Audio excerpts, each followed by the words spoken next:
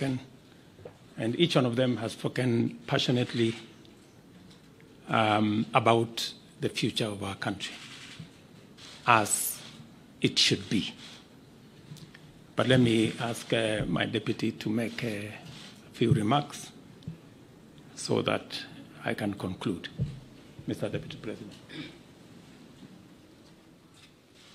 Your Excellency, our President, Dr. William Ruto, Your Excellency, the former Prime Minister, Your Excellency, the former Vice President, the leadership of our two houses, members of the executive, and the press, Your Excellency, this is a great morning for this country because the constitution of the IEBC is a great step for our democracy.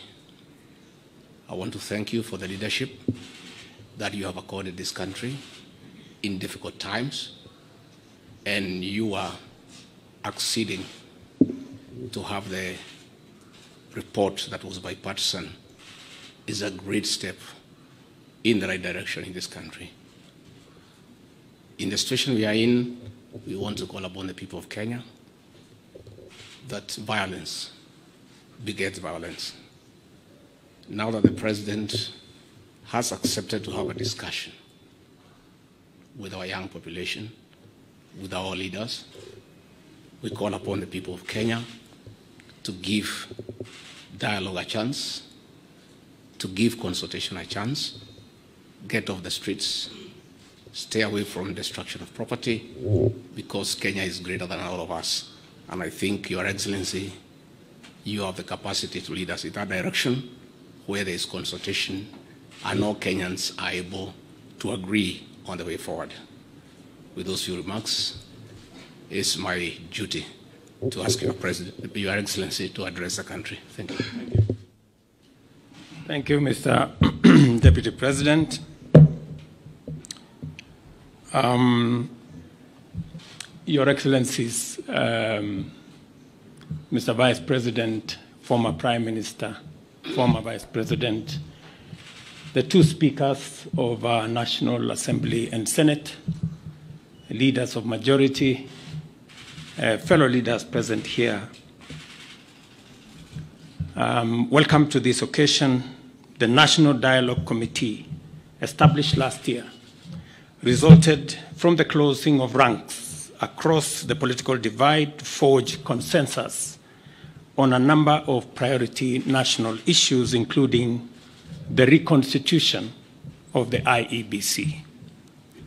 Today's assent of the IEBC Amendment Bill therefore marks a significant step in the actualization of one of the recommendations of NADCO and testifies to our country's ability to navigate difficult, complex, and sometimes divisive issues that could undermine our national co cohesion, undermine our stability and security if we leave it unattended.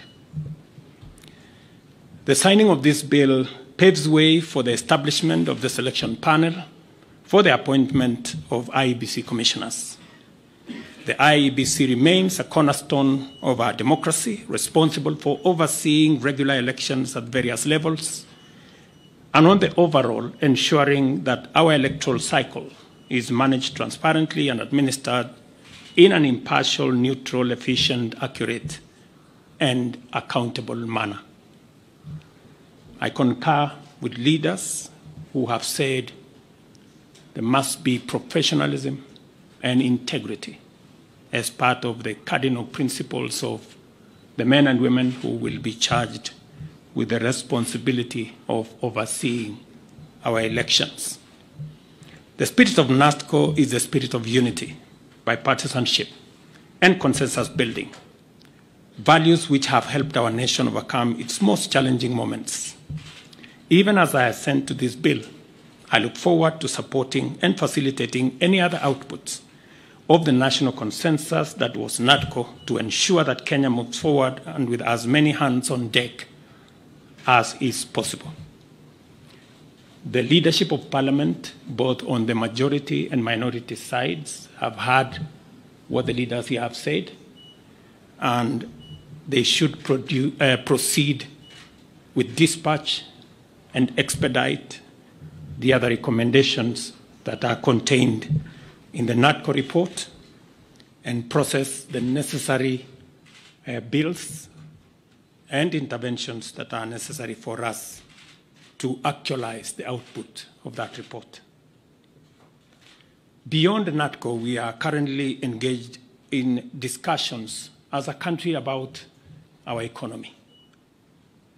As we know, the country has faced a series of economic shocks, including COVID-19 pandemic, globally high interest rates, and devastating droughts and floods, events which have impacted negatively on our economy and our capacity to secure resources for development and to also meet our debt service obligations. In the last two years, we have put in our best efforts to mobilize domestic and external resources to accelerate our economic program, pull the country back from the danger of debt distress, and set us on a path of economic transformation. These efforts have strengthened the Kenya shilling, reduced fuel prices at the pump, and lowered the cost of living, including the cost of essential household commodities. This year, my administration presented revenue-raising measures through the Finance Bill 2024, which were aimed at not only consolidating the economic recovery program, but also propelling the country to the next phase of investing in key social and economic infrastructure projects to advance our development agenda and reduce on our debt burden. However, many voices expressed disapproval of these proposals, leading me to drop the bill and terminate the process. It therefore means that apart from the people of Kenya asking us to consider alternative means of raising revenue, which I agree with, there is general consensus that the country requires to confront and address long-standing priority national issues, including national debt, public expenditure, and anti-corruption measures so as to release resources for creating opportunities, creating jobs, and creating wealth. As a way of charting the future from the current situation we are facing, I welcome all the leaders here, and I have heard what they have said this morning, and all other stakeholders working together for us to address the current economic situation through a broad-based political arrangement and to rally the country forward, as has been said by the former Prime Minister. And therefore, we have yet another opportunity as a country, Kenya being the resilient people we always are, to come together and figure out the future of our country in a manner that makes sure that we address the existential challenges and threats that face our nation. Uh, and that's the reason why I set up